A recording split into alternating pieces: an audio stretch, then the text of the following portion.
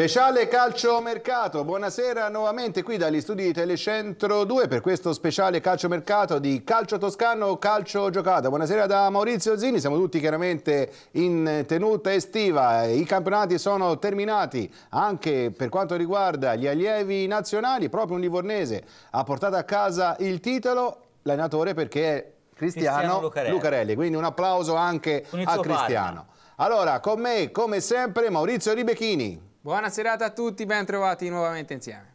Marco Morelli. Buona estate a tutti. Che soprattutto è molto abbronzato che lui ha già il bagno pancaldi che ormai no? Tutti è i giorni. È il eh? mio ufficio. È il tuo ufficio. Non poteva mancare The Voice Marco Nardi.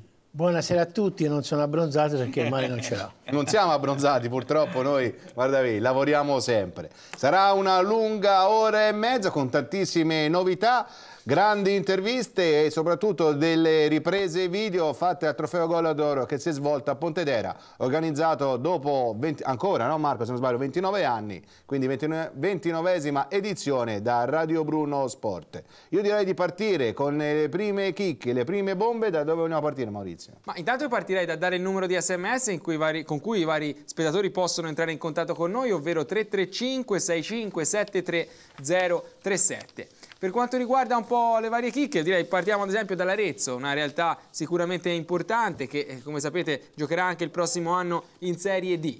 C'è stato intanto importante il nome del nuovo allenatore, Mezzanotti, Davide Mezzanotti, ex calciatore professionista, che arriva ad Arezzo dopo un anno partito bene, poi concluso non, molto, eh, non altrettanto bene alla Sanzepolcro e comunque si sposta di pochi chilometri, arriva appunto all'Arezzo. Eh, sono otto per ora i punti fermi della Rosa, due sono nuovi acquisti, uno è proprio SUC, bomber davvero di razza, ex Sanzepolcro e poi appunto il portiere eh, Scarpelli. Per quanto riguarda eh, i confermati, il capitano Pecorari, che ormai proviene addirittura dai tempi della Lega Pro, esatto. eh, Mencarelli, Idromela, Zaccanti, l'argentino eh, Martinez e poi anche Stefano Rubechini che era richiesto fra l'altro anche da una squadra rumena oltre che da altre squadre, aveva molta, molte pretendenti ma ha deciso di rimanere eh, al, all'Arezzo appunto. Eh, poi appunto per quanto riguarda un'altra realtà sicuramente importante che ha sfiorato davvero la vittoria nello scorso campionato, la Massese, la Massese intanto la notizia quasi certa è che eh, Taddeucci non rimarrà a Massa ha tantissime pretendenti, si parla anche di un suo possibile ritorno a Lucca, tante pretendenti anche fuori dalla Toscana, invece Massese che intanto ha confermato il miser Tazioli, questo è bene dirlo, ha nel mirino, anche se già diverse volte nelle varie sessioni di mercato ci ha provato, appunto ha nel mirino i fratelli Tosi, Francesco e soprattutto il bomber, il centravanti, Federico Tosi. Più volte, soprattutto Federico Tosi, ha ribadito la propria fede al Camaiore, non vuole andarsene, perlomeno questo ha detto le più più volte nei mesi passati, chissà che questo tentativo estivo della Massese invece vada a buon fine. E sono passate già delle immagini, perché chi era quella persona, Marco Morelli? No, è, Guido Pagliuca. Sì, Guido Pagliuca appunto, che Eccolo qua. Sì, sembra sì, che sarà il nuovo allenatore della Lucchese di Russo Ancora non c'è l'ufficialità perché giovedì faranno appunto il nuovo, il nuovo presidente Baci sarà uh, ufficialmente presentato alla, allo staff della Lucchese con Rosadini. Appunto si parla di, di Guido Pagliuca, ex Bogliasco alla guida dei, dei rossoneri. Il vincente a Bolgabugiano, ricordiamo. Sì, è stato anche a Bogliasco, a Bolgabugiano, a Gavorrano, un allenatore sicuramente per la categoria è un lusso. E insieme a lui l'allenatore del, dell'AME dovrebbe Fracassi, dovrebbe allenare la, gli juniores, juniores nazionali. nazionali. E appunto la Lucchese non si ferma qui, anche perché il mercato va avanti, e uno sguardo anche eh, certamente a Andrea Ferretti, il bomber che, che giocava quest'anno nell'Alessandria, lui ha numerosi estimatori, ma, è, è, ma Russo lo porterebbe volentieri a Lucca e insieme a lui ci sono anche Lionetti e Cesca. Eh, si tratta di Alessandro Cesca che ha 33 anni, è un, è un attaccante, l'ultimo anno ha giocato a Pavia, mentre Lionetti ha 29 anni, è un centrocampista con ottime qualità tecniche. E, insomma, la Chiesa è molto, molto viva su, sul mercato anche con i giovani, perché sappiamo che ci sono anche le quote che devono giocare obbligatoriamente in Serie 93, 2,94 e 1,95 se non sbaglio. Appunto, e nel mirino della Lucchese c'è il laterale Belli che è un classe 94 e insieme a lui avranno, certamente anche quelli di quest'anno avranno più spazio come Baretta, Pecchioli e Lima e il dodicesimo sarà, molto probabilmente sarà Trezza, il portiere che c'era anche l'altro anno mentre con l'Empoli cerco di rinnovare il prestito gratuito dell'esterno Gatto e questo è il tuo momento per ora della, della Lucchese. Marco, ti, Marco, Nardi, come ti sembra un po' questo inizio? Molto soft, eh, veramente c'è crisi e lo sappiamo e quindi anche il mondo del calcio e non solo ne risente tantissimo. Eh, sicuramente, poi c'è anche da considerare un fatto il fatto dei ripescaggi, perché molte squadre ci sperano, in conseguenza nessuno sa come muoversi proprio tipo il Gavorrano per esempio, che spera molto nel ripescaggio in, in Lega Pro 2 e secondo il, se giocasse a Lega Pro 2 molto probabilmente sarebbe confermato una buona parte dell'organico di quest'anno allenatore escluso e soprattutto sarebbe confermato l'impegno dello sponsor, la Sorbat dell'ingegner Manzi, mentre se la squadra scenderà nel campionato nazionale dilettanti si farebbe un pochino meno lucido il futuro de, de, del Gavorano stesso. Quindi questo per dire che Sicuramente tante squadre stanno ancora vedendo un attimino quale sarà il loro destino e quale sarà poi la composizione dei vari gironi. Tornando indietro a Guido Pagliuca, io credo che sia un allenatore indiscutibile tecnicamente, molto molto bravo, sicuramente molto preparato. Deve solo imparare a gestire i bollenti spiriti che ha spesso in, eh, in panchina quindi però sicuramente può essere un grosso acquisto per quanto riguarda eh, la lucchese Guido Pagliuca. Eh, è dire... molto irruento, eh. Però è bravissimo. No, no, no, no Io ho un rapporto diretto con Guido, è veramente una persona discute, squisita proprio. Squisita. È vero. Sì, volevo dire appunto, Maurizio, che sono partiti Redomi, Conti, Chiarabini e Canalini. E addirittura parlano di Faliverna, di tutto cuoio, c'è un interessamento anche per lui, ma cioè, onestamente è tutto da vedere ancora. Allora, io direi di partire con la prima intervista, chiaramente l'abbiamo fatta la scorsa settimana al Trofeo Golador, partiamo con Paolo Giovannini, direttore generale dell'OS Città di Pontedera.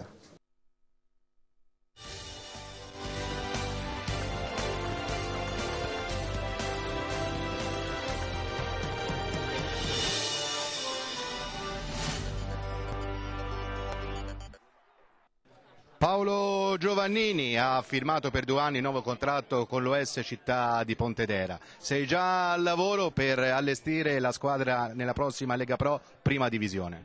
Sì, certamente sono partiti i primi contatti, qualche operazione è già stata conclusa, soprattutto alcune importanti riguardo i rinnovi di contratti di vettori, di pezzi siamo quasi addirittura arrivo e domani spero di, di, di Capitan Caponi visto l'addio, purtroppo doloroso ma di Carfora.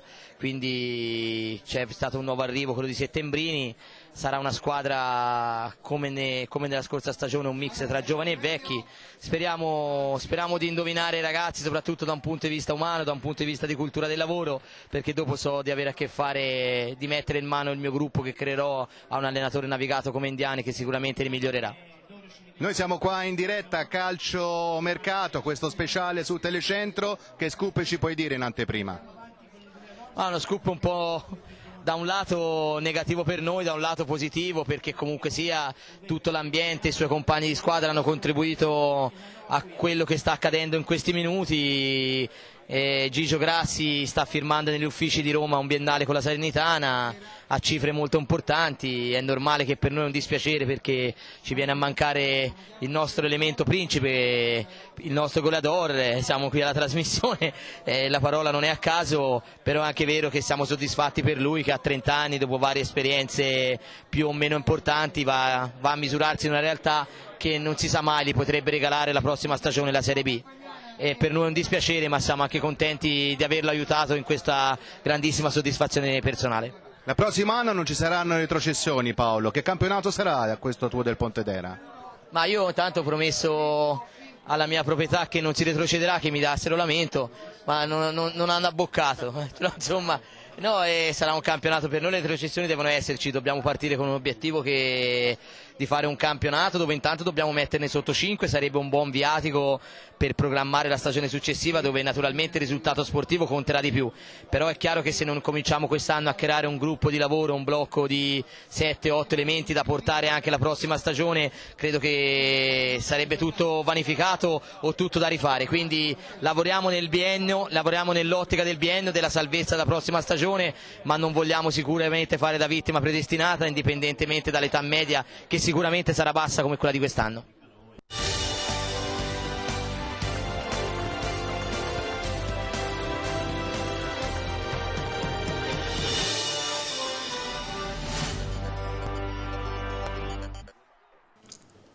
E quindi come è confermato, questa era proprio la diretta fatta a Radio Bruno Sport di Paolo Giovannini, Gigio Grassi è passato alla Salernitana, ha detto Marco Nardi a cifre importanti. Ma così dicono le notizie. Siamo contenti che, tutti che per Gigio. Eh. Sicuramente se lo merita, fra l'altro.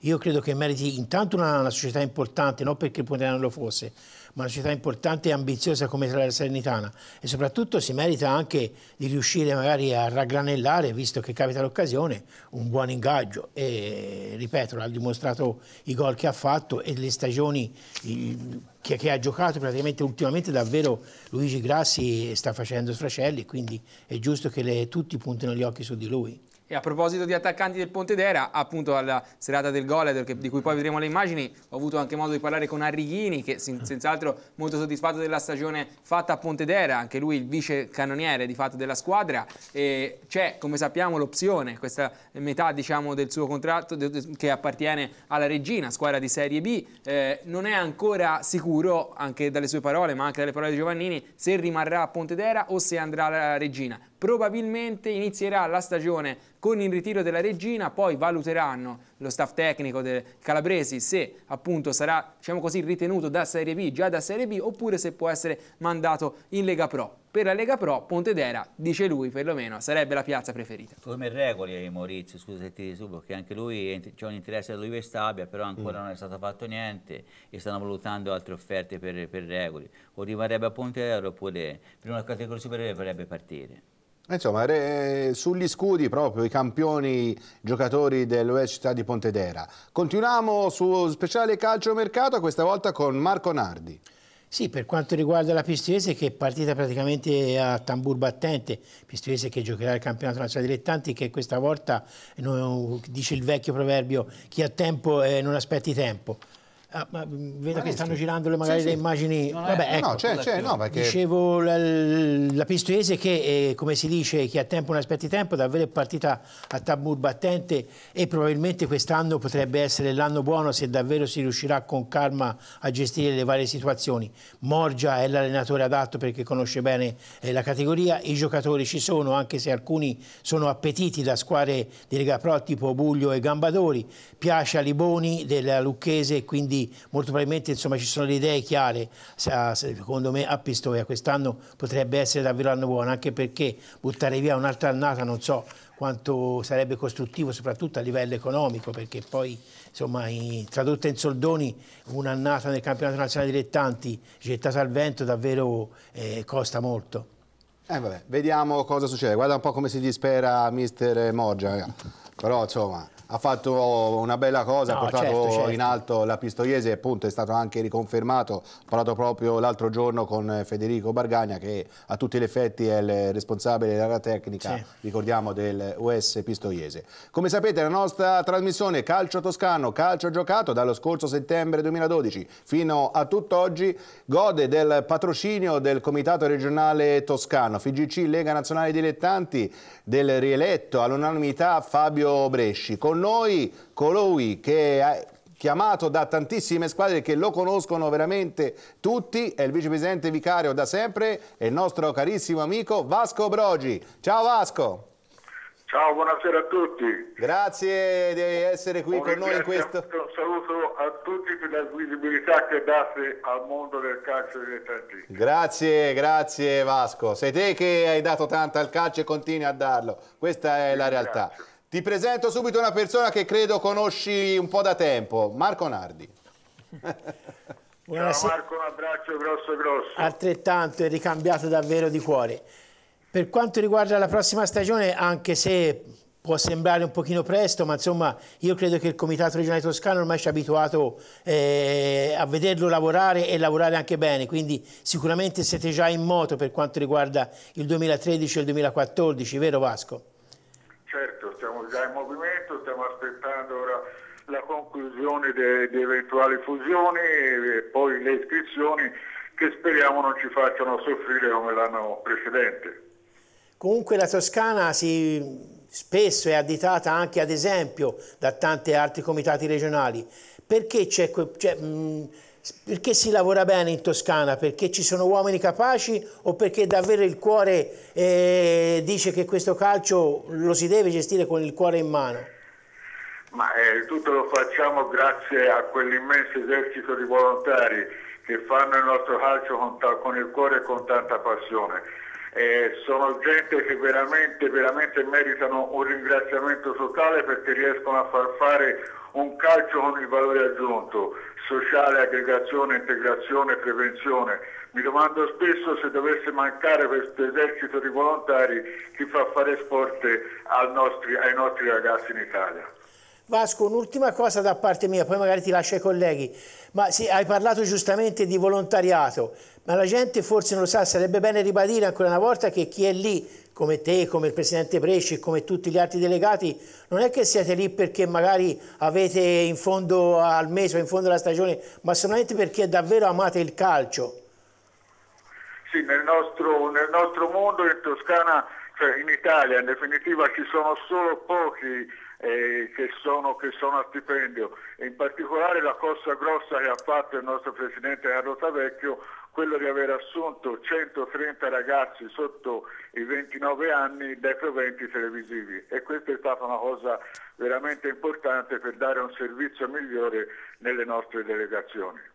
Vasco, prima di lasciarti a Marco Morelli e a Maurizio Ribechini ti volevo chiedere questo. È stato siglato proprio, credo, pochi giorni fa questa convenzione per le iscrizioni delle squadre dilettanti. Credo che sia importante con l'istituto bancario che te conosci molto bene e questa cosa poi si è allargata veramente a tutta Italia. Ce lo vuoi spiegare bene?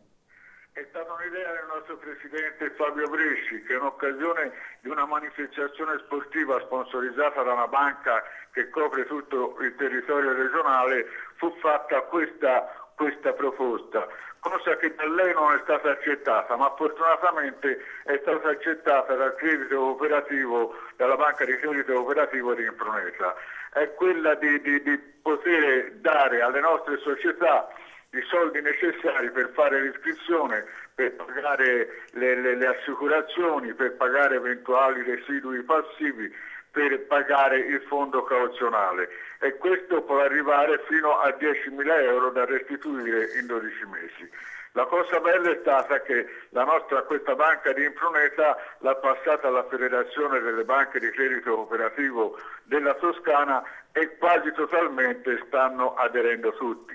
Ancora più eccezionale è che questa idea è stata sposata anche dal nostro Presidente nazionale Carlo Savecchio e sembra che tutta Italia stia aderendo a questa bellissima idea. E questo appunto dà merito, come diceva anche Marco, che qui in Toscana ci sono proprio le risorse, elementi anche per fare qualcosa di importante, anche se stiamo parlando chiaramente del calcio dei dilettanti. L'ultima cosa prima di lasciarti a Marco Morelli, c'è stata proprio anche una visita, credo, una presentazione con il sindaco Matteo Renzi e eh, Carlo, se non sbaglio, Tavecchio, sì. per quanto riguarda la costituzione del centro tecnico federale dei dilettanti a Firenze sempre dai proventi televisivi che da Carlo Tavecchio sono stati messi a disposizione per servizi maggiori, ecco in tutte le regioni verrà fatto un campo sportivo, un campo che sarà utilizzato dal comitato regionale, dai comitati regionali. In questo caso sono 500 mila euro che verranno messi a disposizione del sindaco Matteo Renzi per mettere a posto il campo delle due strade che diventerà il campo del, della, del, della, Lega Nazionale Dilettanti dove saranno fatte tutte le finali eh, sia, sia regionali che nazionali. E questo è molto molto importante proprio anche per la centralità della nostra Toscana. Eh, siamo un po' partigiani ma diciamolo anche questo a voce alta. Marco Morelli. Buonasera Presidente, io mi volevo... Buonasera. Buonasera, sono Marco Morelli. Mi volevo riallacciare un po' alla prima domanda della fiduzione delle banche, no? perché è una cosa molto importante questa, anche perché gli volevo dire, sa benissimo come, come- come funziona il mondo dei dilettanti, molte squadre arrivano alla fine, alla fine dei campionati e non, e non pagano più. Io potrei farli 100 nomi di queste squadre qui, e di giocatori che magari ci hanno dato di squadre 2, 3 mesi, 4, e questo non mi sembra una cosa seria anche perché chi fa il proprio lavoro è giusto che venga pagato fino, fino in fondo. Ecco, io volevo sapere se queste cose lei le sa o no, perché io li potrei Bravo. fare anche i nomi delle squadre, tanto ho problemi. Tipo Cascina, Non diciamo nomi, Lammari, non ma io diciamo. non ho problemi. Sono Non diciamo nomi. Sono pienamente d'accordo. E, e sono non mi sembra regolare, perché- ecco, vorrei che queste squadre qui eh, eh, al limite eh, avessero, non, non- non fossero più iscritte, oppure quando promettono una cosa di mantenere eh, quello che devono dare, perché non mi sembra giusto eh, che non paghino giocatori alla fine dell'anno. E, e vorrei anche mettere in guardia questi giocatori qui, di, di- di- prima di andare in queste squadre qui, di pensarci due volte. Ecco, io vorrei dire questa cosa qui. Cosa ne pensa lei, Presidente? Purtroppo livello, nazionale, a livello dilettantistico dall'eccellenza in giù non esistono contratti e di conseguenza non possono rivolgersi nemmeno al collegio arbitrale per poter eh, recuperare i soldi non pagati. Eh, però sono d'accordo, pienamente d'accordo che le società dovrebbero essere più serie in questo senso. Anche Dico per- che le società dilettantistiche vanno aiutate, però non sono nemmeno d'accordo con quelle società che pagano un giocatore più di un operaio che va a, che si alza alle 6 la mattina per andare a lavorare. Non so se, se Sì, sì, ma tanto poi non le di danno, conto- Presidente. Tanto le promettono, ma poi non le prendono, perché tanto non le ridanno. E il problema è questo qui. Magari promette un 4.000 euro e poi tanto non te le danno mai. Sicché è giusto, e io sono d'accordo con lei, dovrebbero, e non, non devono pagare più di un operaio un giocatore. Però mm, quello che Sono promettono se ne devono mantenere. di- sono momenti difficili e tutti devono fare un passo indietro, però è vero che se una società promette a un giocatore un certo rimborso spesso lo deve mantenere fino in fondo. E questo credo sia proprio anche nella cultura del rispetto e dei valori dello sport, Vasco.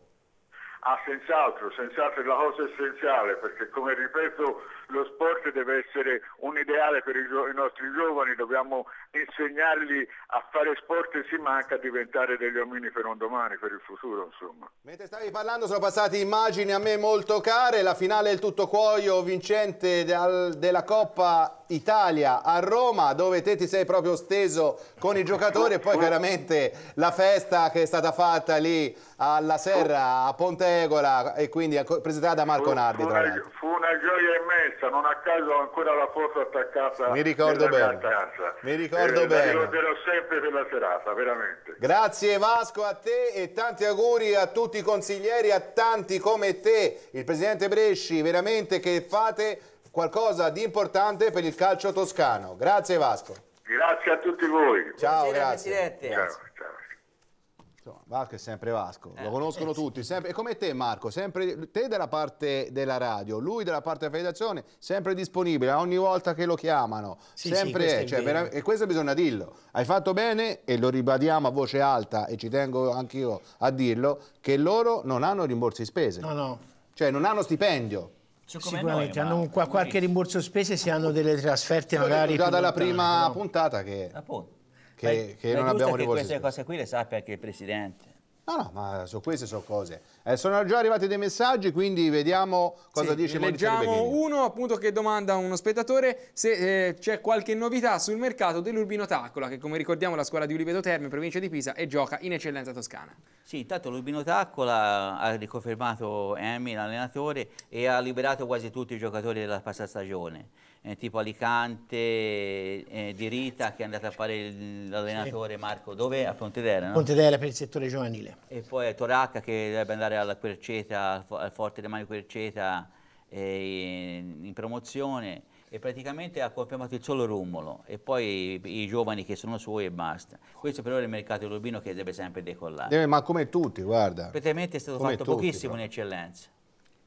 E l'eccellenza? un'ecce- una Invece grande qualcuno sta lavorando. L'eccezione è davvero Ponzacco, che come sappiamo il prossimo anno giocherà in eccellenza grazie alla fusione del Pisa Sporting Club, del presidente Donati, che in pratica sarà il patron appunto della società rossoblu. Ci sono già cinque colpi sicuri, oltre a innumerevoli voci che girano di pre- presunti altri acquisti, che ora sarebbe veramente lunghissimo eh, fare. Eh, per quanto riguarda eh, appunto c'è Cristian Brega che sicuramente già sicuro è arrivato dal Lucchese, poi Garbini, ex Ghivizzano, quindi eh, eccellenza toscana lo scorso anno, eh, Balleri dal Camaiore, quindi proveniente dalla Serie D, Granito, bomber del Tutto Cuoio, quindi addirittura avrebbe vinto il campionato di Serie D col Tutto Cuoio e quindi avrebbe addirittura il diritto di giocare in Lega Pro e invece sarà appunto il prossimo anno nella vicina Ponzacco. E poi veramente la ciliegina sulla torta, forse non l'ultima, però già sicuro l'arrivo di Lorenzo Fiale, che lo scorso anno, negli ultimi anni, è stato al Viareggio, ben dieci anni fra i professionisti. Eh, Fiale che fra l'altro ha dichiarato insomma, a più eh, organi stampa che sarebbe rimasto volentieri, ma non ha avuto nessuna proposta dalla società del Viareggio e pertanto appunto ha eh, deciso di accettare la, l'offerta dell'ambizioso Ponzacco. Quindi Ponzacco davvero che si eh, appresta a essere appunto la regina del mercato, perché come detto sono pochi i movimenti eh, un po' in entrambi i gironi dell'eccellenza toscana, fino ad ora perlomeno. Vorrei aggiungere anche di un'altra squadra, ovvero della Pro Livorno, in cui è andato come direttore tecnico Stefano Brondi, direttore generale c'è andato quel Marcello Puccini che Marco Morelli disse queste notizie, credo un mesetto e mezzo fa, con il responsabile per le relazioni esterne con le squadre, anche grandi squadre, il eh, Enzo Banti, Mauro Nicolai confermato direttore, direttore sportivo e dice l'obiettivo è quello di fare eh, un importante, questo mi ha dichiarato Stefano proprio oggi pomeriggio al telefono, un settore giovanile molto importante, saranno valorizzati in eccellenza molti classe 96 e chiaramente i primi nomi sono Giglioli, Tamberi ed Emmi che credo abbia avuto ora un problema al ginocchio o qualcosa. Quindi... Anche Stefanini e Ecco. Stefanini con l'ex Forcoli. Tutti gli ex Forcoli. Sì, quattro, sono quattro giocatori e più c'è anche il discorso come responsabile del settore giovanile Marco Braccini. Ah, io to torno, se posso torno un passo indietro eh. per quanto riguarda il Ponzacco. Diceva giustamente Maurizio Di Becchini che il Ponzacco ha la ciliegina sulla torta, ne ha più di una ciliegina sulla torta il Ponzacco, cominciando intanto da Giacomo Lazzini, l'allenatore, e poi il pubblico di Ponzacco che davvero è una cosa incredibile, si si sta rifondendo il pubblico, cioè praticamente l'entusiasmo che c'era per la squadra e che era stato un po' sopito nel corso degli anni. Quindi davvero il Ponzacco poi con una squadra del genere, si dice che arrivino altri giocatori importanti, davvero sarà la squadra da battere. È strano che non sia stato confermato neanche un giocatore del Ponzacco di seconda categoria tipo Susini, tipo Verola, giocatori Probabilmente, magari... sì, sì, no, no, Verola ha fatto 29 Brega, Granista, se non la Però è chiaro Verola... che a livello di esperienza, a livello di mestiere, chiaramente si parla di altri giocatori con il grosso rispetto per Susini, per Mauro Verola, che sono giocatori importanti che possono fare, fare benissimo certo. in prima categoria, in seconda, promozione. in promozione, voglio dire, però molto probabilmente quando si punta a vincere un campionato eh, ci vuole anche gente di esperienza, gente che sa gestire davvero. Poi se non sbaglio ha preso un portiere 95 da Primavera del Livorno sì. e poi un 94, insomma anche ora è cambiato, quindi anche direttore sportivo, prima c'era Paolo Del Corso che è andato al Sexton Bientina e lì è tornato Andrea Lumerini, quindi sì, sta sì. lavorando molto bene col colpaccio e poi tra l'altro abbiamo intervistato Filippo Ferretti, quindi il presidente in carica, poi dal primo luglio sarà Massimo Donati. L'ultima cosa e poi lancerei Sempre il video. sull'eccellenza, anche se sull'altro girone, diciamo altro girone, anche se i gironi formalmente non sono stati varati, però parliamo diciamo del campionato scorso, vale a dire al San Gimignano c'è stata la conferma dell'allenatore Ercolino, che ormai è lì da, eh, questa sarà la terza stagione, e invece una, fra virgolette, smentita di notizie che erano circolate su una presunta già firma ufficiale del bomber Daniele Latini, che lui esperienza in Serie D nello Scandinavo, Scandicci l'anno scorso al Certaldo, era stato dato da più fonti la firma con il San Gimignano, invece proprio il diretto interessato ci ha contattati per dirci che non è vero nulla, è ancora diciamo eh, sul mercato, quindi anzi ci sarà senz'altro un po' di lotta fra le squadre di queste categorie di eccellenza o di promozione per accaparrarsi le sue reti. Allora, questi erano appunto i primi colpi di mercato detti qui in diretta speciale calcio mercato della nostra trasmissione Calcio Toscano, Calcio Giocato. Io direi di vedere ora questo lungo video di quanto è successo. Poi la versione integrale sarà sul sito sia di Radio Bruno ma soprattutto anche di www.dmnews.it, quindi le immagini del trofeo Golardor 29esima edizione. Soprattutto questa cosa l'ha inventata Marco Nardi. Non proprio, ma insomma. Ha detto Maurizio.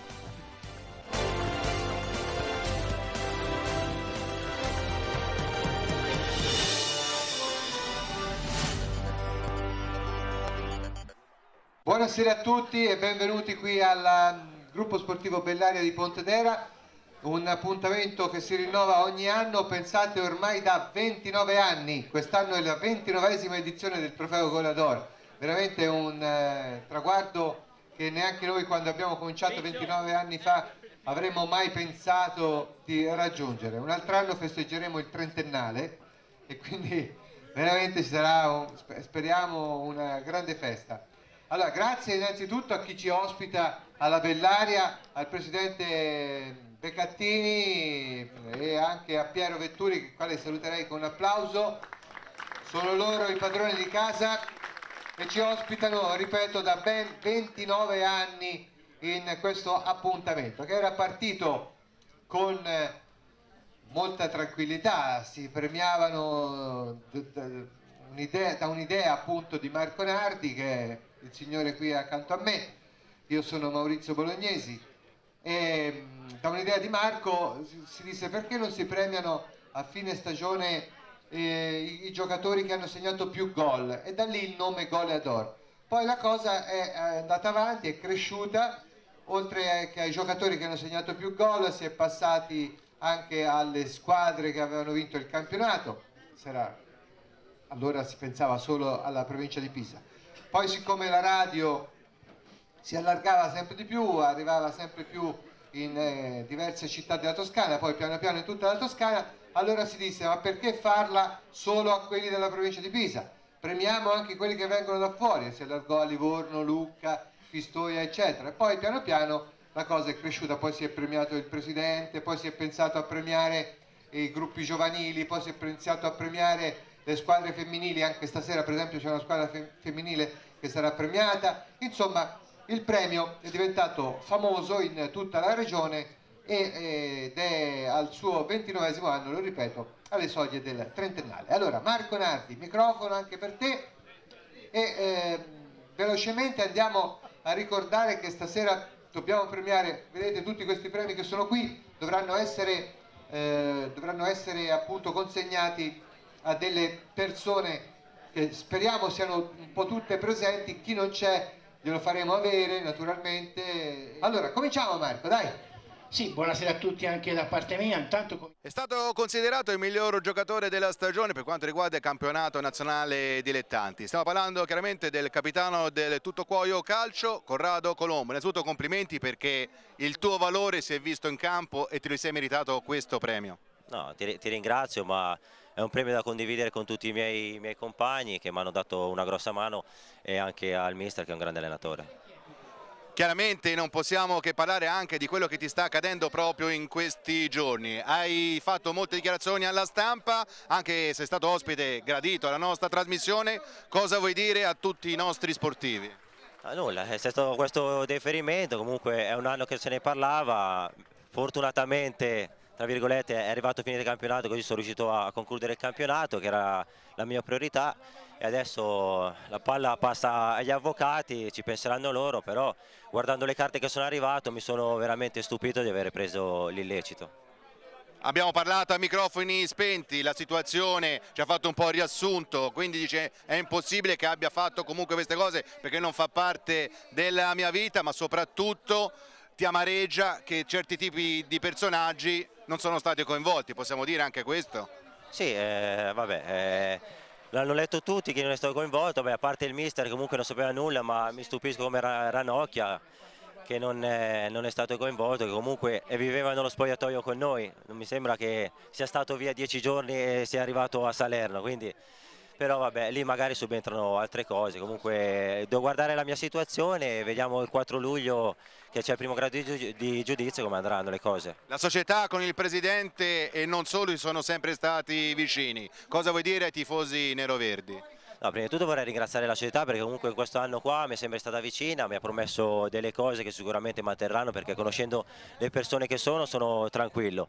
Ai tifosi del tutto cuoio dico che ci si vede in campo sicuramente. Daniele Micheletti ha portato il Forcoli alla salvezza, una meritata salvezza, sofferta, però comunque il risultato sul campo ha detto che siete in Serie D. Sì, in effetti ha detto bene, sofferta ma meritatissima secondo me nell'arco dei 180 minuti il Folcoli ha dimostrato di avere qualcosa in più, se non altro il cuore che era venuto a mancare un po' nelle ultime prestazioni insomma, è stato ritrovato a livello di spogliatoio, i ragazzi hanno voluto la salvezza a, a, tutti i costi e anche con un po' di fortuna è arrivata. Fortuna. Sa benissimo che all'andata a Castenaso ero presente con il pullman della squadra, soprattutto il risultato poteva essere di tre punti anche all'andata. Sì, eh, il primo tempo meglio Castenaso, però il secondo tempo poi non ci fu partita, forse meritavamo anche il 2-1, però insomma eh, l'importante non è come si è raggiunto ma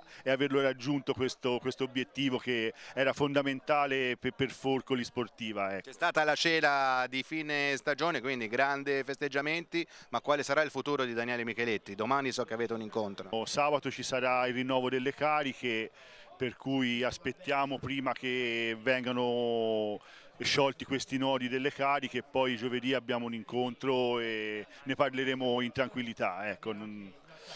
Io non mi era stato promesso niente, per cui tutto quello che verrà ne parleremo con calma. Simone Millozzi è il primo cittadino della città di Pontedera, ma è stato anche tesserato e siamo stati testimoni proprio anche dell'Oest città di Pontedera e ha vinto anche il campionato, possiamo dirlo. È vero, è vero, è stato un momento, poi non sono entrato in campo, ma insomma è stato un momento. Non hai fatto l'esordio colpa dei dirigenti e quindi lo diciamo in diretta. No, almeno un minuto me lo potevano fare, potevo dire ho calcato i campi della C, però dai, a parte questo, bene, bella soddisfazione, abbiamo fatto due anni magnifici, quest'anno nessuno si aspettava di fare questo risultato straordinario, merito della società, merito dei tecnici, merito dei giocatori, abbiamo fatto un grosso passo in avanti e quindi ora ci godiamo questo momento, noi abbiamo accompagnato insomma, la crescita della squadra, della società, non soltanto prendendola in un momento di grande difficoltà, quindi merito anche agli imprenditori nostri del territorio che oggi hanno dato il là per riuscire in questa impresa.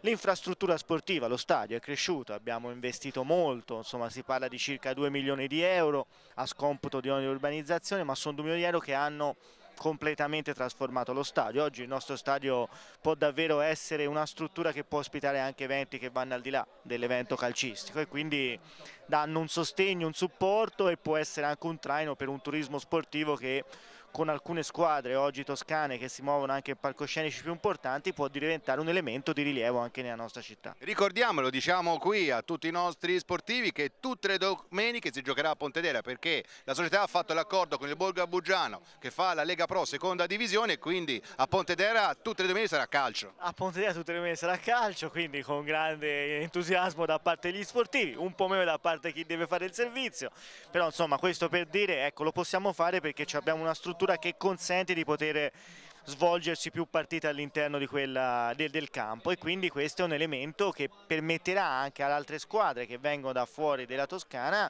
di trovare nella nostra città accoglienza, sensibilità e anche perché no un buon calcio come abbiamo fatto in questi anni in città. Un messaggio a tutti gli sportivi, l'Università Città di Pontedera è in Lega Pro prima divisione a Pontedera c'è la Piaggio, sindaco, un'unione bisogna cercarla di fare qui ora. È una bella domanda e non ho risposta, nel senso che eh, c'è stato nel passato, c'è stato un rapporto, oggi questo rapporto non c'è, mi auguro che ci possano essere dei momenti nei quali si possa davvero ristabilire un contatto. Ecco, io penso che indipendentemente dalla Piaggio tutte le società, seppur in un momento di grande difficoltà come quello, quindi in primo luogo il pensiero va all'occupazione e al lavoro, ma penso ci possa essere anche un piccolo spazio per una cosiddetta responsabilità sociale, quindi un rapporto con il territorio. Noi abbiamo fatto questo con gli imprenditori che oggi guidano il Ponte d'Era, abbiamo detto uniti alla passione del calcio c'è una responsabilità per far crescere ecco, una, una, città anche dal punto di vista sportivo e penso che oggi le soddisfazioni che ci regala questo Pontedera in C1 possa essere attrattivo anche per società di prestigio. Il mister vincente del campionato, premiato quale migliore allenatore della Serie D, è Massimiliano Alvini. Innanzitutto complimenti perché stai facendo il corso top insieme a grandi giocatori, il tuo sogno è diventato realtà. È una bella esperienza, stiamo, mi sto divertendo e sinceramente è un traguardo importante. Quindi eh, il regalo più bello per questa vittoria di quest'anno è anche questo per me. Il corso a Coverciano per diventare veramente allenatore, che lì si diventa allenatore vero. Sì, siamo allenatori, professionisti e l'ho avuto di diritto perché abbiamo vinto il campionato e quindi è una bella esperienza. Cosa vogliamo dire di questo campionato? Una grande emozione, ve lo siete meritato, dove, siamo, dove vi ho seguito come radio tutto l'anno, grandi risultati e grandi prestazioni Massimiliano. Sì, sì, il tutto cuoio ha meritato di vincere il campionato perché durante l'anno è stata la squadra che ha avuto più equilibrio. È merito di un, un gruppo di giocatori, di una squadra fantastica che ha lavorato bene tutto l'anno e merito anche di una società piccola ma una società importante con le idee molto chiare. Sicuramente questa rimarrà una vittoria che negli anni acquisterà ancora più valore di quello che in questo momento ha perché il Tutto Cuoio ha vinto con realtà importanti e quindi lo vedremo con un po' più in là nel tempo il valore di questa vittoria. La prossima stagione sarà un campionato molto particolare questa seconda divisione. Già ci stai pensando oppure un po' stacchi e poi parti? Sinceramente in questo momento un gocciolino di stacco anche perché il, il corso impegna tantissimo lo sto prendendo. Eh, l'esperienza in Lega Pro è fantastica poi il prossimo anno ci arriviamo in un anno dove ci sono retro, 9 retrocessioni, ma vediamo, ora lo vedremo più in qua. E a questa serata non poteva mancare il Ponzacco dei record, 30 su 30 più uno della scorsa stagione, Filippo Ferretti è il presidente, una grande soddisfazione. Sicuramente sì, siamo andati al di là di tutte le migliori aspettative, vincere il campionato era una prerogativa sin dall'inizio, fare 30 su 30 logicamente è stato valore, il valore aggiunto, ecco. una grande soddisfazione dopo diciamo, un paio d'anni di purgatorio per colpe non nostre. Il, la nostra trasmissione è uno speciale calcio mercato. Dal primo luglio sarà operativa questa fusione con il Pisa Sporting Club e quindi la categoria sarà all'eccellenza e i grandi nomi sono già arrivati perché Brega, Granito e altri grandi giocatori.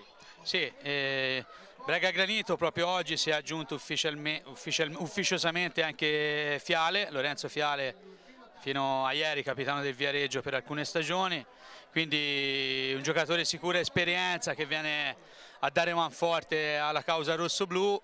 Gli auspici sono dei migliori, e ripartiamo per essere protagonisti con la speranza ecco, che, di avere anche un pizzico di fortuna che nel calcio come ben sappiamo non manca, bene non manchi. Ecco. Mister Giovanni Maneschi, Pescia Uzzanese è una grande società, ci avete provato fino alla fine, non è andata come volevate. Abbiamo perso i rigori e dispiace, ora stiamo aspettando quello che succederà perché ci sono i presupposti, speriamo, per un possibile ripescaggio, la società deciderà se andare avanti con questi ripescaggi o no e quindi niente, nulla da dire. Il nostro Marco Morelli ha detto tutto il campionato, Giovanni Maneschi ha la squadra più attrezzata del campionato. Sì, no, avevamo una squadra forte, forse come giovani eravamo un attimino, ma non al di sotto perché poi alla fine hanno fatto bene, però dobbiamo fare complimenti a chi ha vinto, noi abbiamo fatto 67 punti, quindi quando fai più 7 media inglese e una squadra fa più 12 c'è solo da fargli complimenti. Abbiamo vinto la finale regionale playoff quindi i ragazzi hanno fatto un campionato veramente ottimo, poi peccato perché siamo stati eliminati anche non perdendo, però mm, ci godiamo l'annata che è stata super positiva. E approda per la prima volta nella storia della società in Serie D il Jolly Montemullo, una grande cavalcata di mister Sette Soldi, a ritirare il premio c'è il presidente, noi siamo visti per i festeggiamenti, insomma, vede ancora il sorriso, tutto meritato. Sì, sì, abbiamo fatto un bel campionato perché siamo stati in vetta fin dall'inizio del, del, campionato, quindi eh, siamo arrivati in fondo, addirittura abbiamo avuto anche 10 punti di vantaggio sulla seconda e riuscire a, a vincere un campionato così non, non, non è stato facile, però diciamo che eh, ci, ci, vuole anche un po' di fortuna oltre a avere tutto il gruppo compatto, eh, avere una squadra, una società, eh, tutti i collaboratori che ti danno una mano. È, è, stato fatto un gran bel lavoro da parte di tutti e quindi siamo riusciti ad arrivare in fondo vincendo, io credo meritatamente. Prime mosse di mercato, Presidente, quali sono? Abbiamo, per ora uh, abbiamo riconfermato alcuni giocatori che intendevamo eh, far rimanere per il prossimo anno che secondo noi sono eh, diciamo, adatti per la categoria. Poi abbiamo eh, preso, eh, abbiamo ah, concordato con Filippi e Rossi della Pro Livorno, eh, Benedetti del Lamari 94 e eh, poi do dovremo mettere altri tre giovani che stiamo contattando e un centravanti eh, di razza che stiamo eh, attualmente ancora parlando per vedere se si trova l'accordo. Non ci manca tanto, poi ci sarà anche oltretutto eh, un altro giocatore importante che ha fatto fino a, a poco tempo fa la Serie C, può anche darsi che si trova l'accordo con lui visto che torna a Prato di casa e quindi potrebbe essere un innesto importante, una, una, una cosa in più, diciamo un giocatore di un'altra qualità. E termina qui questa lunga serata con interviste ai vari protagonisti del trofeo Golador qui alla Bellaria di Pontedera, alle telecamere, riprese video Guglielmo Cannemolla da Maurizio Zini e tutto, linea alla regia.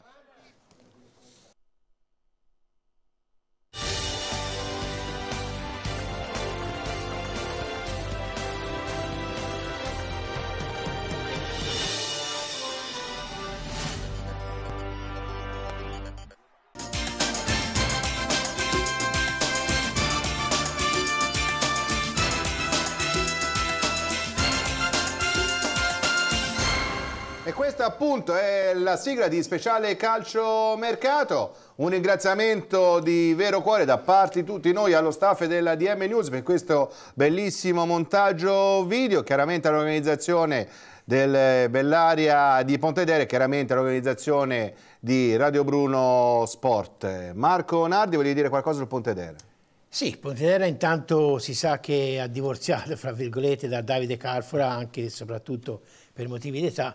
Comunque Davide Carfora credo che non, non troverà, cioè troverà squadra abbastanza svelta, non durerà fatica sicuramente a trovare squadra intanto perché è un grosso giocatore tecnicamente parlando e poi anche perché è una persona seria. Per quanto riguarda poi Pontedera, da vedere che il Borgo Abugiano quest'anno ha trovato l'accordo per giocare appunto allo stadio Mannucci di eh, Pontedera le sue partite interne per quanto riguarda il campionato di Lega Pro 2 e, e da vedere anche che il primo colpo del Pontedera è stato Settembrini dal Poggi Bonzi, Poggi Bonzi che fra l'altro sembra avere, come ha scritto giustamente Maurizio Ribechini sul nostro sito internet di Radio Bruno Toscana e Poggio Bonzi che ha grossissime difficoltà eh, per la prossima stagione, vedremo che cosa succederà, ma sembra che ci sia una vera e propria diaspora fra i giocatori del, del Poggi Bonzi.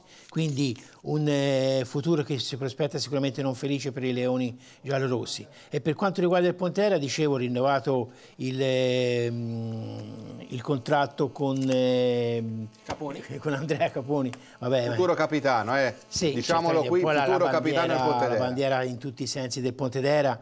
E insomma, Giovannini poi è, è l'acqua cheta che rompe ponti. Lui lavora sotto sotto senza grandi clamori e poi eh, mette a segno dei colpi importanti come l'aveva già messi quest'anno e credo che che si andrà ancora sulla strada iniziata l'anno scorso, come ha soprattutto detto Indiani, io guarderò al gruppo, non saremo tanti per l'Italia, tanto per giocare, visto che non ci saranno le successioni, però dove andremo io voglio giocarmela e fare la mia onesta figura. Mi sembra le premesse ci siano davvero tutte per sperare in qualcosa di buono del Pontedera. Sul campo poi del Pontedera il prossimo anno, come abbiamo sentito anche il primo cittadino, giocherà anche il Borgo Abugiano, che quindi lascia Lucca e approda proprio alla città della. Vespa. Da segnalare inoltre che proprio notizia di oggi pomeriggio che è stato concluso l'accordo anche per il team manager della Beretti Professionisti del Pontedera. Marco Del Papa ha chiuso con Giovanni Salvadori che lo scorso anno è stato colui che ha allestito il Casciana Pelli.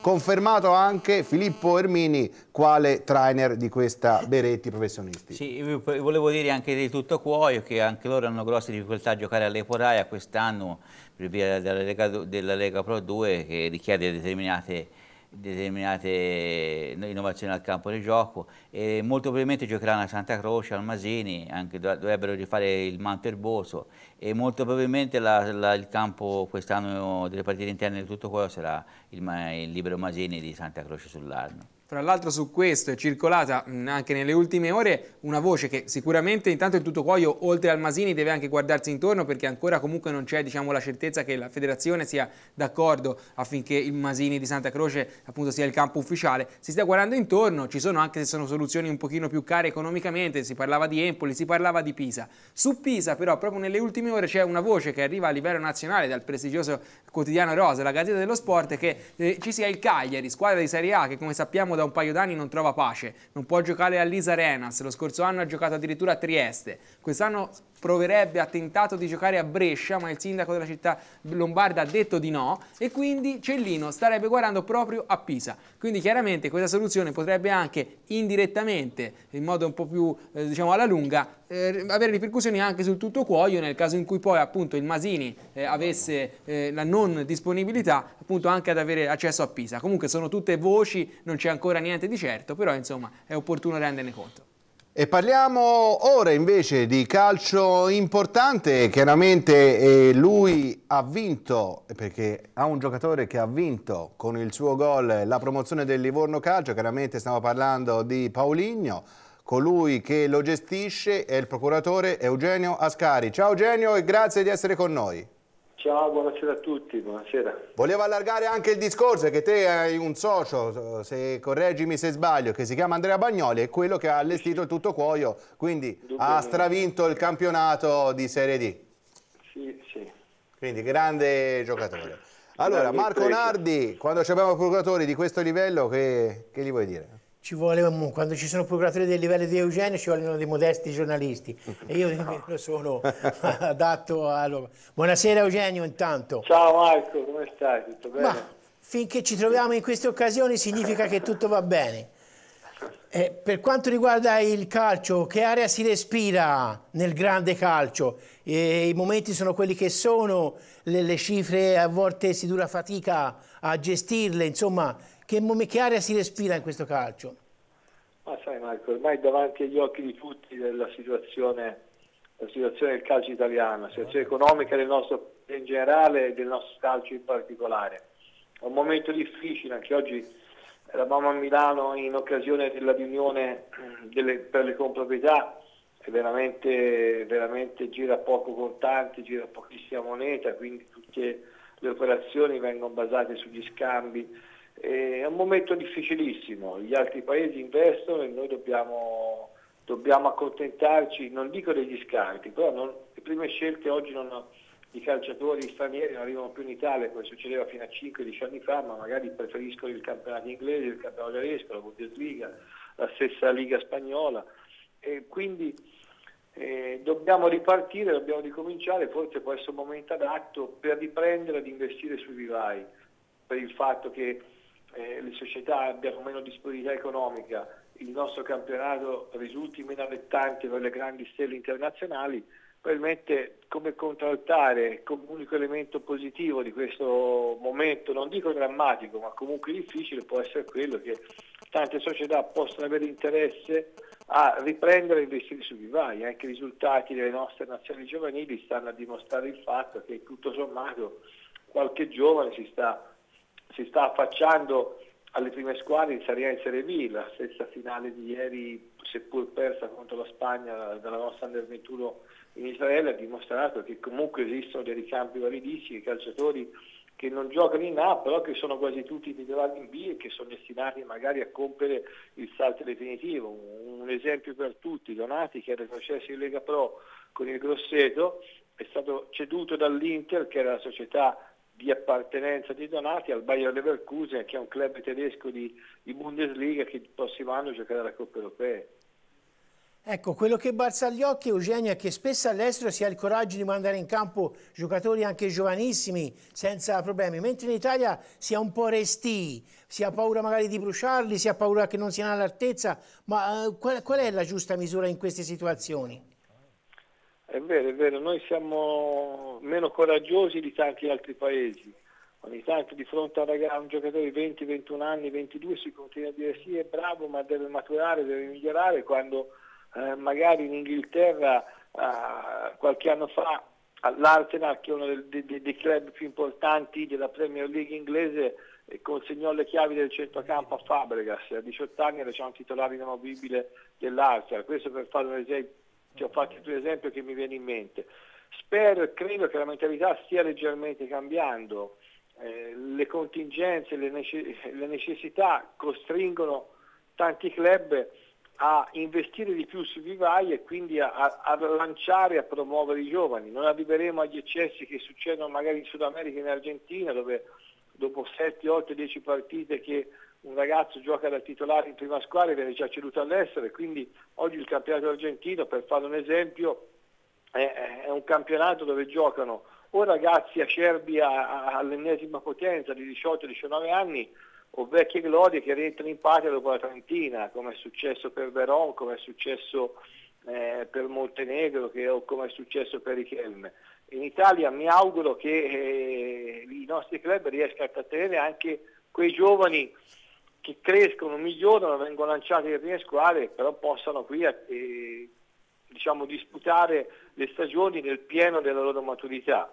Un po' più di coraggio ci vuole, però credo che qualche passo avanti in questo senso sia stato fatto anche a livello di categorie inferiori rispetto alla Serie A, a livello di Serie B, di Lega Pro, di prima e di seconda divisione, un po' per necessità, un po' per, in virtù del fatto che i contributi federali vengano corrisposti soltanto in presenza dell'utilizzazione di giovani, eh, si vedono uh, tantissimi giovani eh, che vengono schierati con una certa regolarità fatto che non avveniva assolutamente fino a qualche anno fa.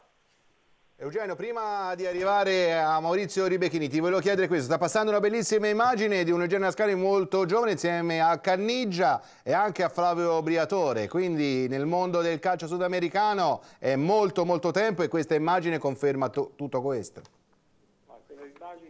Probabilmente si riferiscono a, ai primi anni nei primi anni in cui iniziavo a svolgere questa attività io collaboravo con Antonio Caliendo che è il decano dei procuratori italiani, un po' quello che ha inventato questa professione in Italia, quindi sono immagini che, si riferi- che, che risalgono a più di vent'anni Eccola fa. qua. No, Eh, sì. È una bella soddisfazione però, complimenti Eugenio, dai.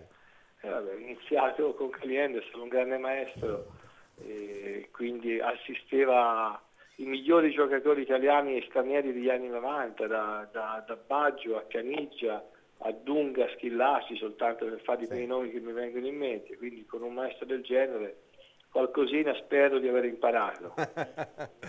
Allora, la domanda del secolo, Maurizio Ribechini. Buonasera, qui appunto come lei saprà gli studi sono a Livorno, in questa città e tutti si domandano, visto che lei poi è anche diretto interessato, che ne sarà di Pauligno? Girano tante voci, il Presidente insomma, chiede una cifra, le offerte sembrano diverse, chi propone delle contropartite tecniche, lei cosa può o vuole dirci?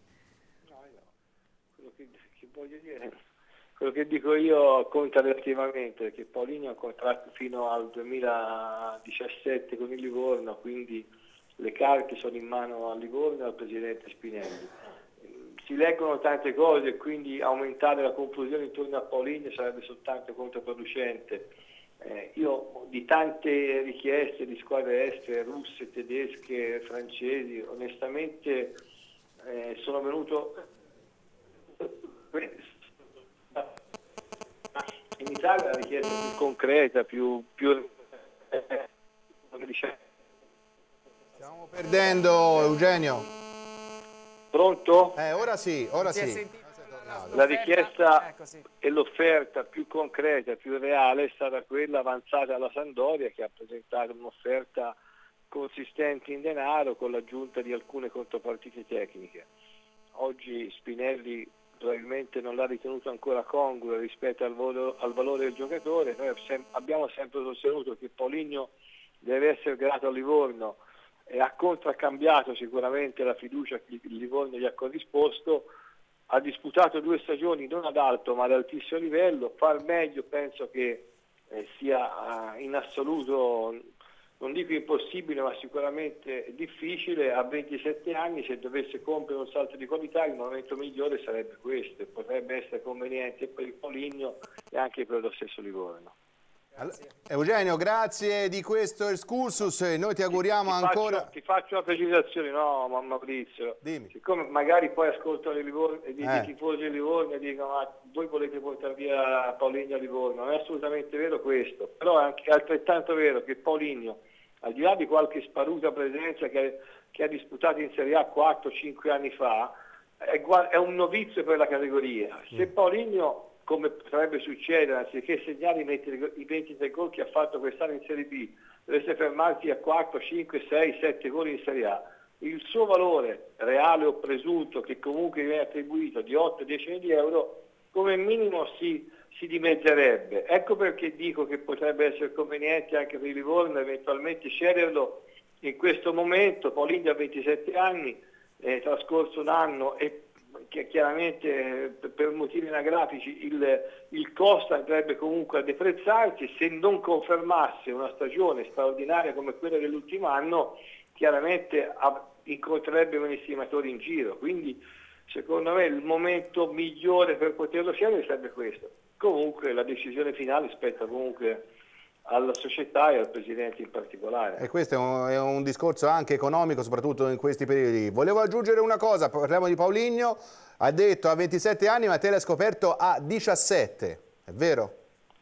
Noi andammo, è, arrivato, è arrivato a Livorno nel gennaio del 2006 quando aveva 19 anni, quindi l'avevamo visto con Andrea Bagnoli, con i fratelli Ricci, Emanuele e Massimiliano, con, con i quali collaboriamo eh, nel 2004, nel 2004, 2000, sì, 2004. Sì. poi arrivò nel gennaio 2005 che aveva appena 19 anni, ha finito di disputare i campionati sudamericani under eh, 20 con la sua nazionale in Colombia se non mi ricordo male e quindi lo vedemmo a 18 anni arrivò a Livorno che ne aveva appena 19 quindi dal 2005 sono già passati 8 anni e mezzo da quando è sbarcato Eh, in Italia Insomma, e, e a Livorno sicuramente saranno tutti contenti, complimenti appunto anche alla società che approda in Serie A. Grazie Eugenio, ti lasciamo al Grazie tuo a lavoro voi. con Andrea. buona serata buona Grazie serata. Eugenio, grazie, ciao. A livello economico Mi nulla da dire. sia stato abbastanza chiaro. È stato chiarissimo, penso. Ascari. Chi vuol capire, capisca. Eh sì. Marco, invece noi torniamo al nostro ai nostri calcio. campionati, ai nostri campionati. Dove ci porti? Dove ci porti? Senti, intanto volevo appunto il Monsummano al nuovo allenatore ehm, è con il direttore generale che è sempre Claudio Ranieri. Il nuovo allenatore è Matteo Capecchi che è un ex giocatore professionista. E il primo acquisto del Monsummano è stato Matteo Sorini che viene da una stagione dalla Lampo e da una stagione in attività perché aveva avuto un grosso infortunio e sperano un recupero. Intanto anche il Lammari, sempre in eccellenza giornaliera, il nuovo allenatore, non è più Fracassi, è passato all'Unione della Lucchese, Sì. ma è, è- è il signore Meschi, Mario Meschi.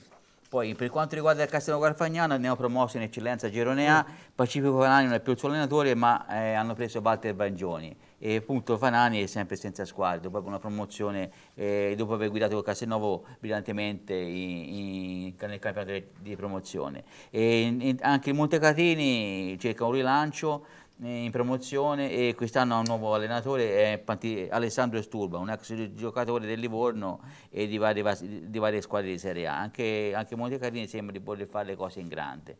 E poi anche il Ghivizzano ha un nuovo allenatore, sono andati via Ferracuti e Pi- Pisciotta e il nuovo allenatore è Daniele Girardi e che proviene dalle giovanili della Lucchese.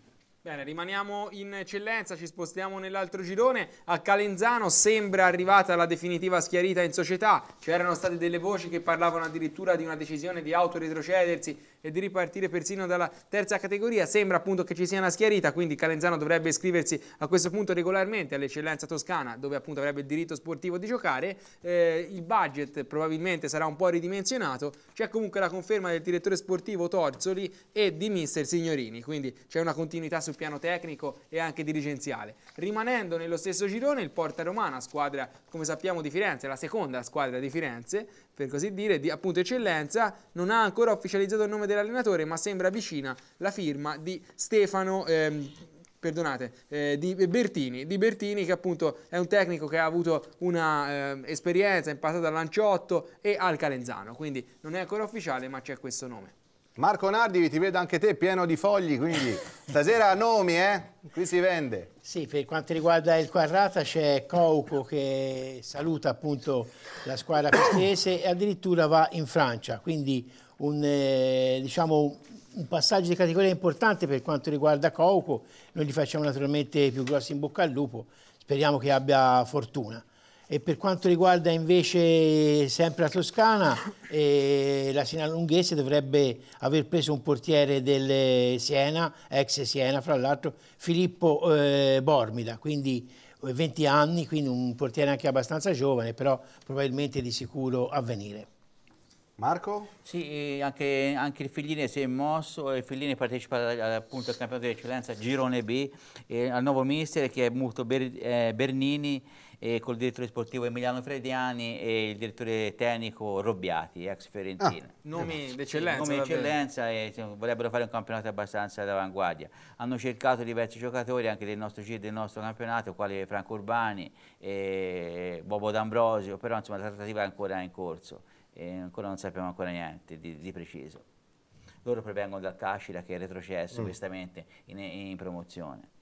Altro? Sotto? Sì, anche San Giovanni di Valdano, il nuovo allenatore è Stefano Calderini e, ah. e, si prepara al primo, al primo, colpo di mercato. Anche San Giovanni di Valdano speravano un ripescaggio, ma sembra, dalle ultime notizie pervenute, sembra che sia molto difficile. Molto difficile. Tra l'altro sembra che, appunto, non è ufficiale, che in collaborazione con la società di San Giovanni di Valdano ci possa essere anche Andrea Ivan, uno dei nomi che era circolato nei giorni scorsi. E poi c'è, a parte poi, esulando un po' dal calcio mercato, appunto ora il discorso anche Papa, del, del, nuovo Papa Francesco, eh, ha avuto il nostro collega Maurizio Zini ha fatto visita lì portando appunto la maglia del Real Fucecchio che ha vinto il campionato di calcetto e insieme a lui c'erano anche dei personaggi illustri come il figliolo di, appunto, di Gagliani e ora vedremo appunto delle immagini. No, è una grande emozione che chiaramente sì. questo Papa, possiamo dire, è un Papa molto amato.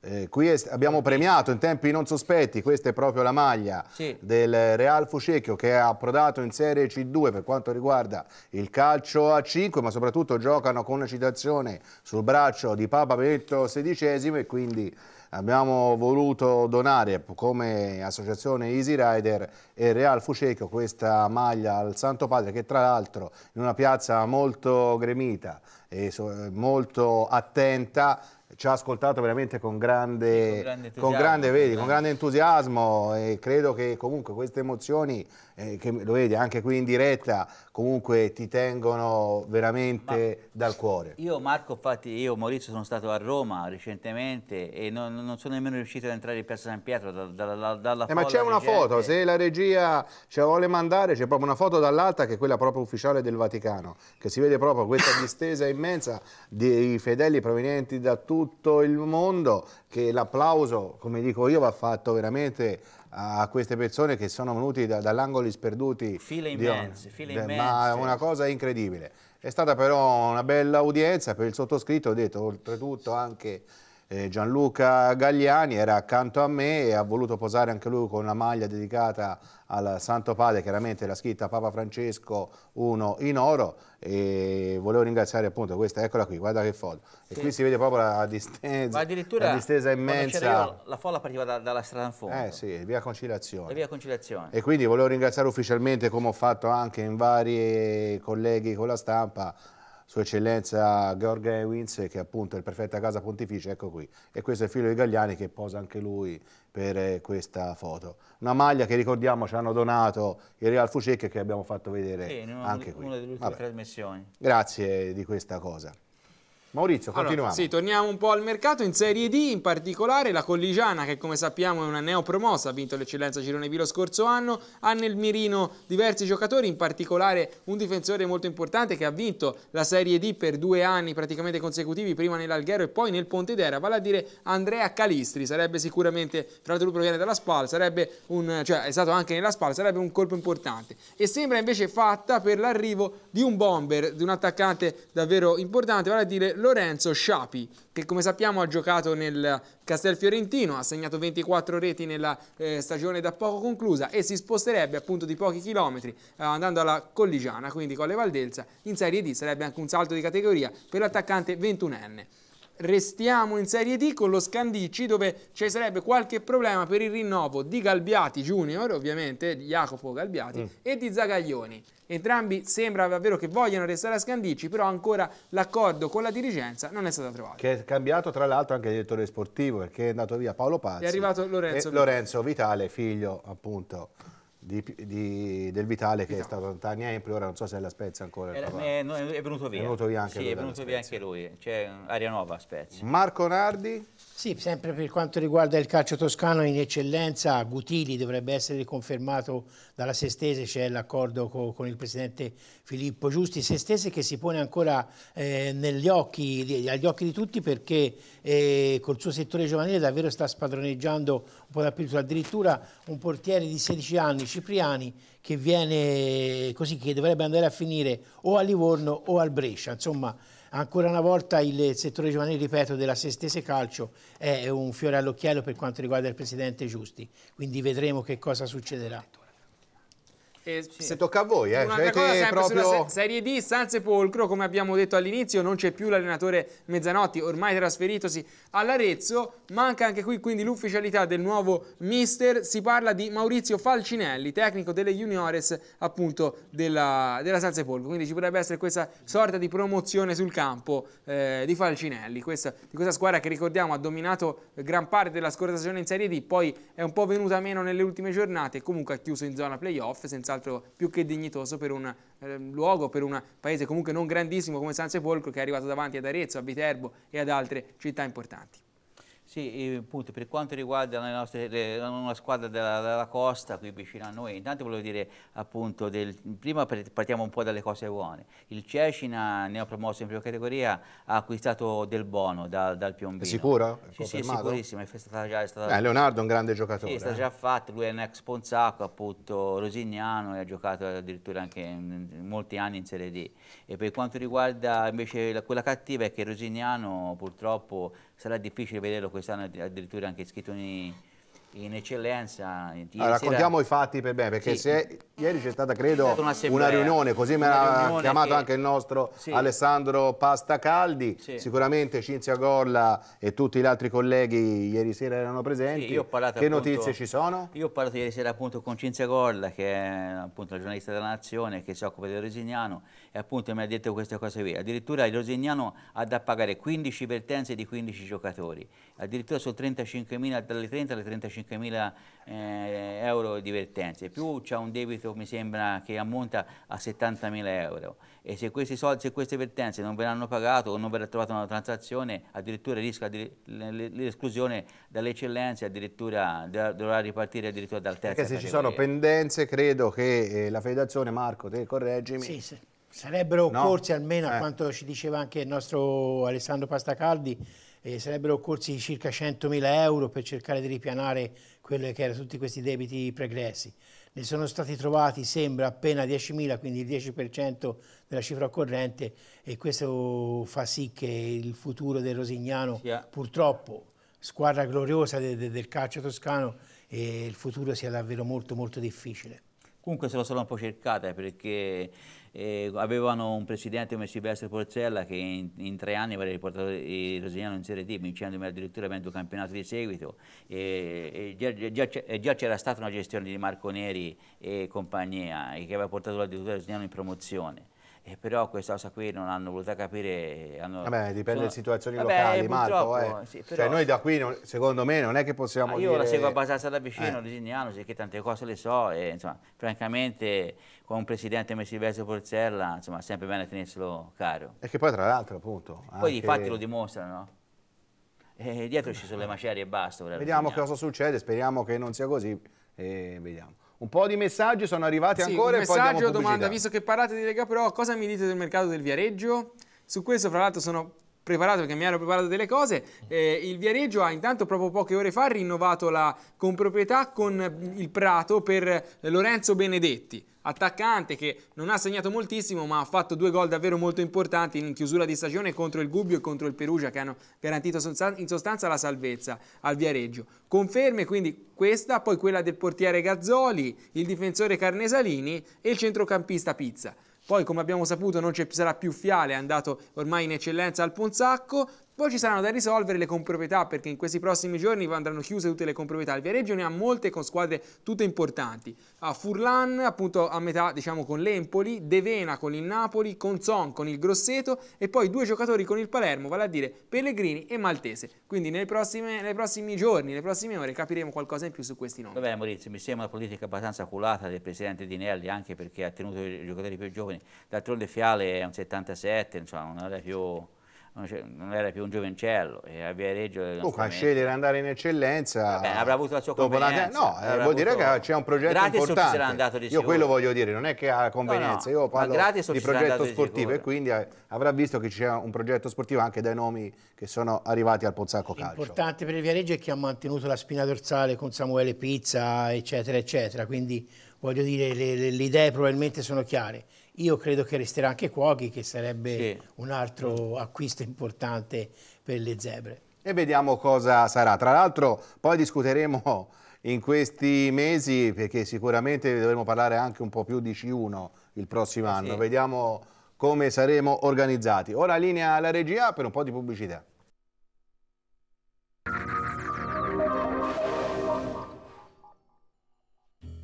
Prendi il bus? Con soli 10 euro al mese, in luglio e agosto, CTT vi riserva un posto. Campagna riservata ai nuovi abbonati che sottoscrivono in giugno risparmiando il costo della tessera e della foto, un nuovo abbonamento per i mesi di luglio e agosto. Maggiori informazioni e vantaggi per chi ha già l'abbonamento su www.atl.livorno.it e alle fermate del bus. Never mind the stars in the sky, never mind the when and the why. Supermercati Sisa di B di Batte, il piccolo grande supermercato vicino casa tua. Di Batte, alta qualità dal 1964. Gastronomia, rossicceria, carni locali e chianine. Supermercati Sisa al centro Le Fate, in via Grotta delle Fate. Ricordate, supermercato Sisa, qualità, convenienza e cortesia. Vi aspettiamo! Le lenti che risolvono il problema di chi non vede bene da vicino, da lontano e anche a mezza distanza. Ti posso dare un consiglio? Provali, perché io da quando indosso questi occhiali mi sento un altro. Mi sembra di riavere 30 anni. Vedo sempre bene e tutte le condizioni a tutte le distanze. E neanche mi accorgo di averli sul viso. Ottica Mugnai, Piazza Tias 16.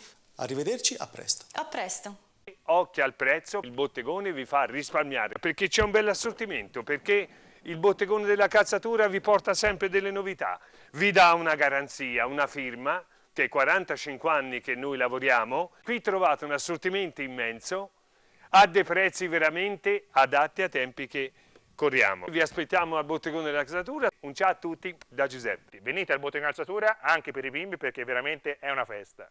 Ciao!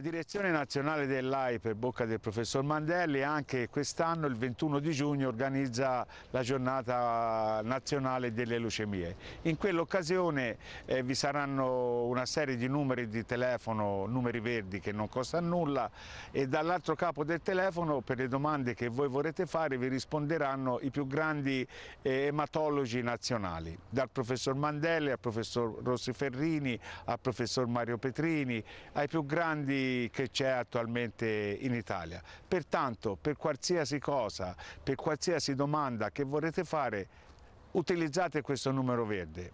Sicuramente sarà una cosa ben fatta.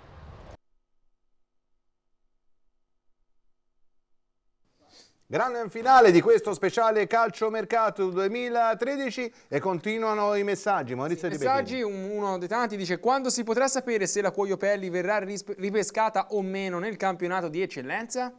Chi risponde ai due marchi?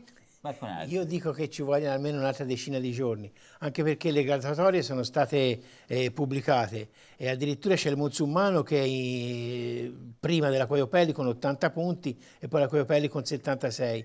Bisognerà vedere Monzummano che molto probabilmente giocherà davvero l'eccellenza. Per la Coiopelli c'è ancora qualche dubbio. Vediamo che cosa succederà. Molto dipenderà anche da eventuali ripescaggi e da eventuali ammissioni da- dall'eccellenza in Serie D dalla Serie D a- in Lega Pro, quindi si libereranno posti a scalare. Vediamo, però mm, io penso un'altra decina di giorni sicuramente. Come sempre è arrivata anche la pagina di Calcio Più che ora chiaramente è in edizione unica, Cattolica e Tau Regina, soprattutto immagine coperta che vola alle Final Six. Eccolo qua, proprio la prima pagina inviata dalla redazione che collabora appunto con la nostra trasmissione. Così come collabora, e siamo proprio con Fratelli, con Maurizio Bolognesi, direttore di Radio Bruno Toscana. La trasmissione sportiva riprenderà, credo, all'inizio dei propri campionati, ma siamo qui Maurizio, ci sei? Sì, buonasera. Buonasera, buonasera ciao. Maurizio. Soprattutto per spiegare cosa sta facendo Radio Bruno, tantissime iniziative, soprattutto questa cena di fine stagione in cui credo che devi parlare di qualcosa. Allora, intanto vi dico due cose.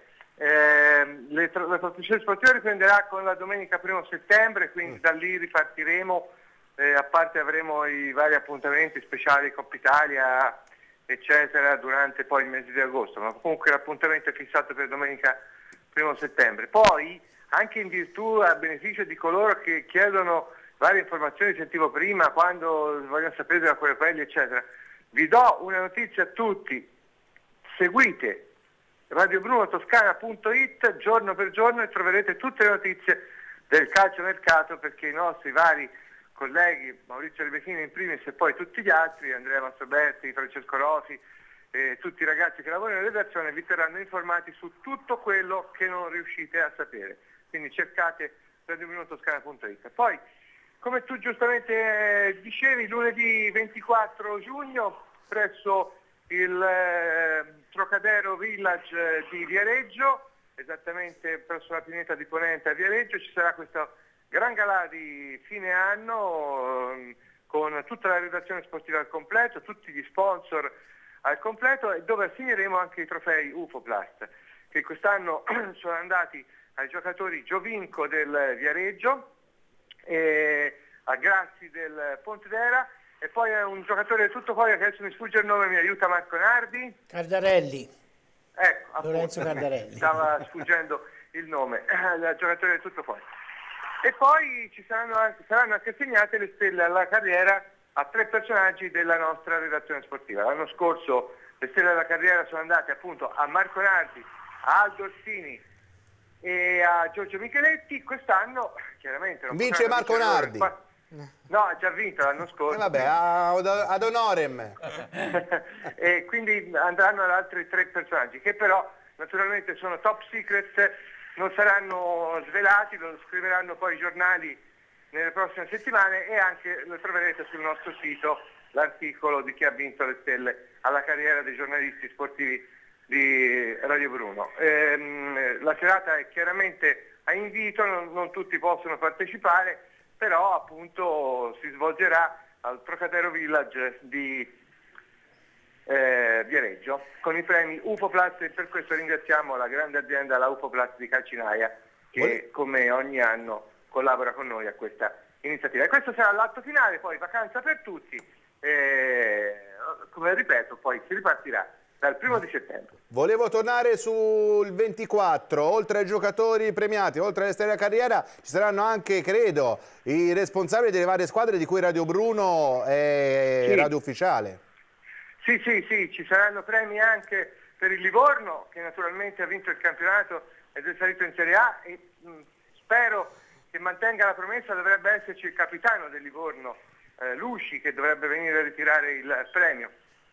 E poi ci sarà anche un premio all'Empoli in quanto per lo stupendo campionato che ha fatto e per questa bella eh, finale, questo bel finale che ha fatto con, eh, con il Livorno stesso, questa finale che si è giocata, quindi un premio ci sembrava giusto darlo anche all'Empoli. E poi naturalmente non ci possiamo dimenticare del Pisa, ci dovrebbe essere, mi ha promesso così il Presidente Carlo Battini, nonostante l'amarezza di domenica scorsa, però ci sembrava giusto premiare anche il Pisa per questa bella cavalcata che ha fatto e quindi ci sarà un premio anche per il Pisa. Va bene, io voto Marco Nardi, lo dico subito pubblicamente, quindi lo so che tanto non conta nulla i nostri non, voti. Non però... può ritirare il premio Marco Nardi, l'ha già vinto. Attenzione, eh, tu, tu, sei come Maurizio Rebecchini e come tutti gli altri, potresti essere uno, uno di nomination, però ah. non è detto. No, no, no, per me alla carriera, alla carriera un po', insomma, oh, oh, eh, insomma, alla carriera, dai, aspettiamo un po', dai. Eh, appunto. appunto. sì, infatti, ecco, giustamente, questo è ben, Eh, ben alla specificato. carriera. è un premio alla carriera, Quindi. non è un premio di merito, Esatto. cioè non vuol dire se uno è stato più bravo o meno dell'altro, è un premio alla carriera. Il nome stesso lo dice, stella alla carriera, quindi logicamente i più giovani devono metterci un attimino in coda, questo è chiaro. va bene, vedremo poi quando riprenderemo chi ha vinto, soprattutto le foto e tutti i commenti per quanto riguarda le varie interviste, poi nei vari radiogiornali di tutti i graditi ospiti della festa di Radio Bruno Toscana. Ciao Maurizio, saluti a tutti voi. A tutti voi buona estate, arrivederci. Grazie, ciao. Allora, E noi continuiamo, chiedo alla regia di prendere qualche minuto perché veramente ci sono ancora dei messaggi da leggere. Allora, qui ci chiedono anche se avete qualche notizia sul mercato del Cenaia, che come ricordiamo è neopromosso in eccellenza toscana.